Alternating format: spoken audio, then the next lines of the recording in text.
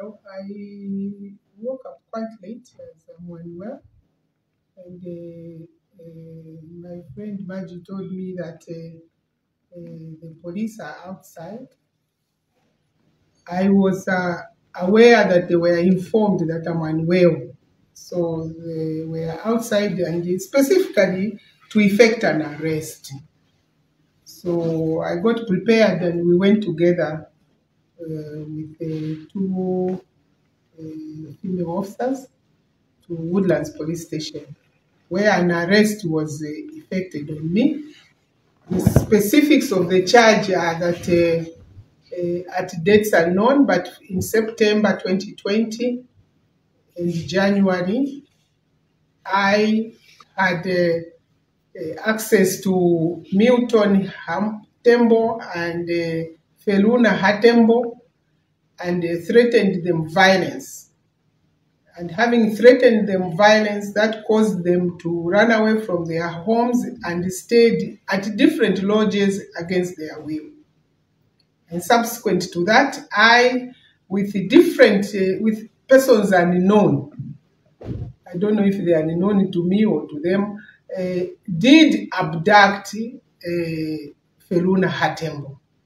An arrest was uh, effected and I've been released on uh, police bond uh, at my own cognizance. Uh, I did ask the senior officer responsible for the operation as to whether my lawyer had not furnished him with medical reports from the University Teaching Hospital and a private uh, medical facility.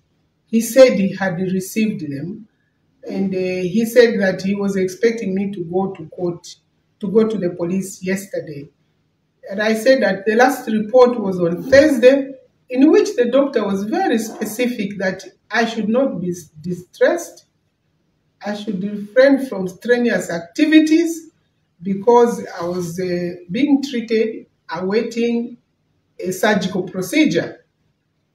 I think that it's very clear that uh, the police are under extreme pressure. It's very, very clear because uh, uh, even asking them as to whether it's abnormal for a, a suspect to tender a medical report, he answered in the affirmative that it was not abnormal.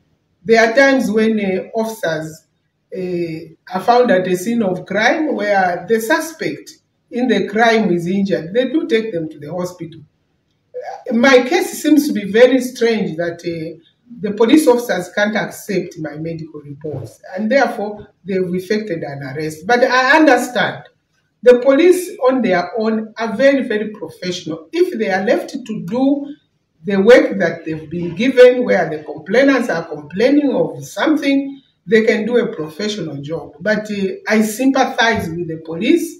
They are working under extreme conditions where the head of state is forcing them to do things which ideally under their training they wouldn't do. Um, I don't want to belabor the point that uh, I'm unwell because I have told them that I even have visas to travel next week. So if I'm traveling next week, I'm certainly unfit to be in a situation where I'm being inconvenienced. I should be pre making preparations to travel.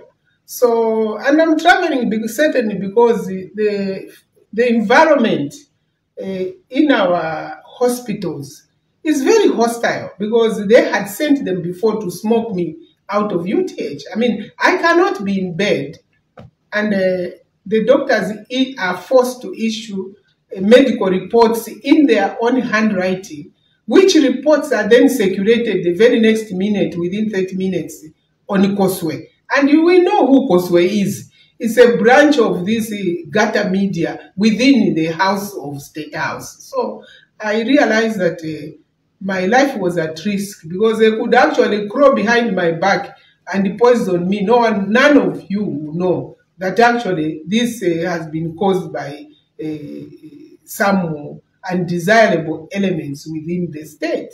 So I decided that I was going to seek medical attention out of the borders of the Republic. And therefore, I mean, against my will, I've never done that.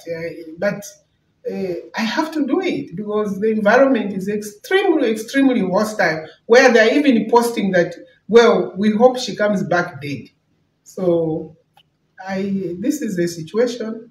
No one wants this kind of publicity, but uh, I, since you got to know that I'm arrested, it was a public issue. The police were camping at my gate, so uh, you may as well know that I've been arrested.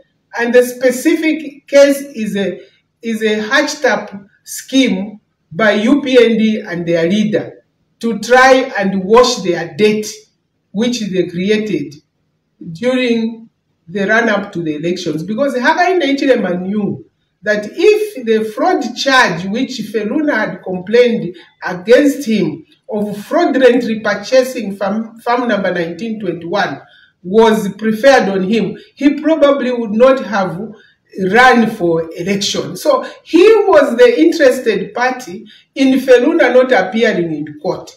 In fact, most of the videos aired by Milton and uh, the sister consistently say that Nawakwi was trying to force them to appeal against the judgment in the High Court which said Feluna could not prosecute her case because it was time barred. Now, the appeal was to the extent that a fraud, a criminal offense, has no time limit. If you killed someone 30 years ago, you can't say no, it's time bad. That is a code file. So the code file of fraudulent acquisition of farm number 1921-24 will never die because there are issues there. One, there was a Lima Bank mortgage and that mortgage was lifted within 24 hours by unauthorized officers. Niza Piri and uh, Mr. Mle Madam Mlenga, they went to lands and lifted the mortgage.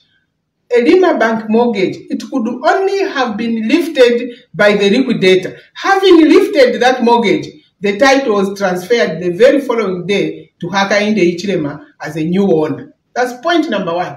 Point number two, that from 1924 was in fact a property of a demised person. Given the magnitude and size of that farm, not one person, whether administrator or otherwise, could actually execute the conveyancing on that property without high court order.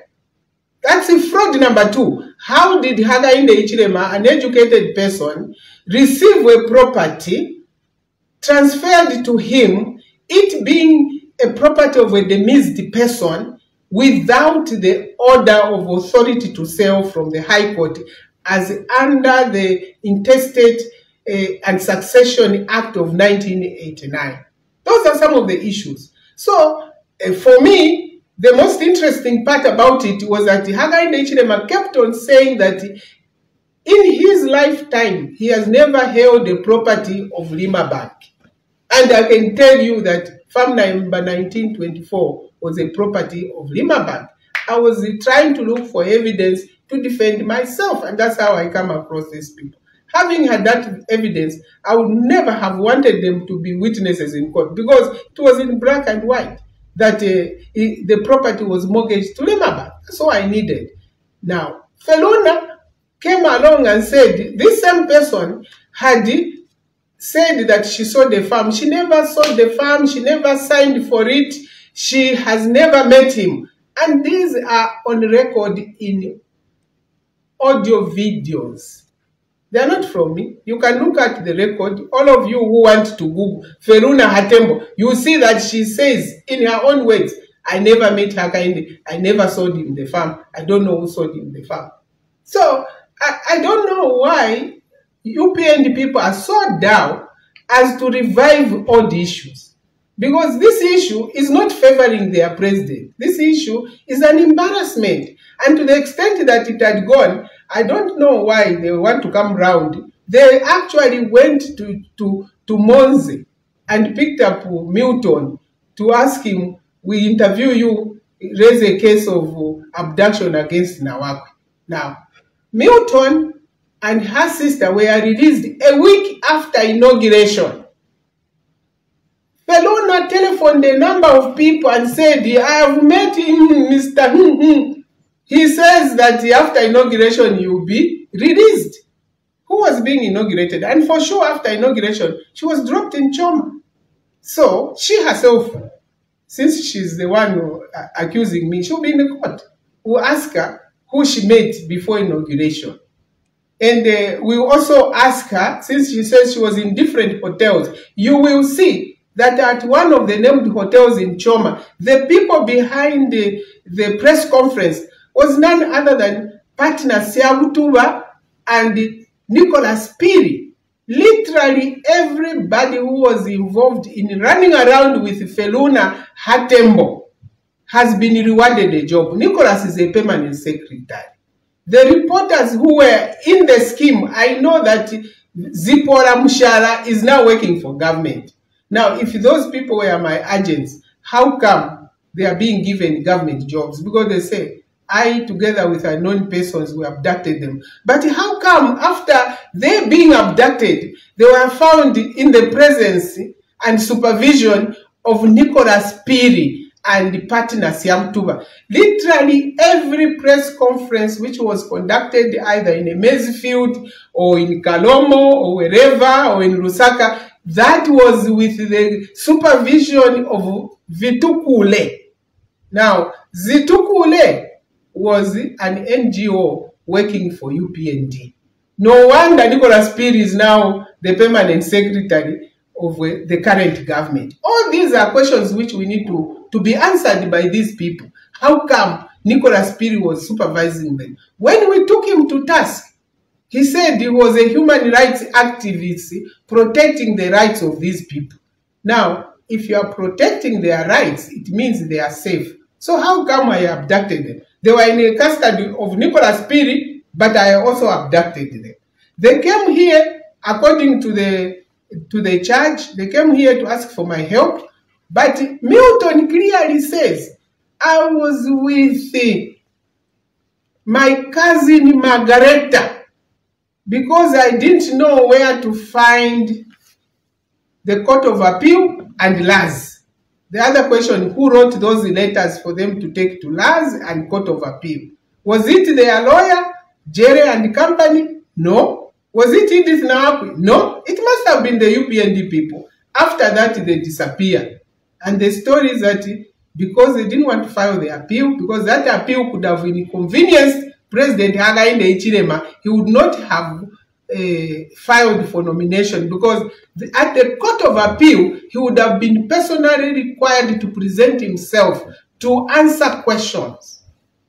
And I don't think it would have been good optics for him running for, for presidency and answering questions of fraud. So you know who was interested in them being hidden. It's not me. I wasn't running. I had no issue with them. Okay.